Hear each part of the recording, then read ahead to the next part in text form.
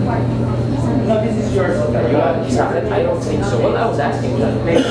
And ever since then, there was never a rise in water. Kahit been a really bad typhoon, there was never a rise in water naman. So, that's a good sign naman kahit paano. Eh, pero ma'am, sa... Wala ba? Ano sa Batangas, I think, may konting problema.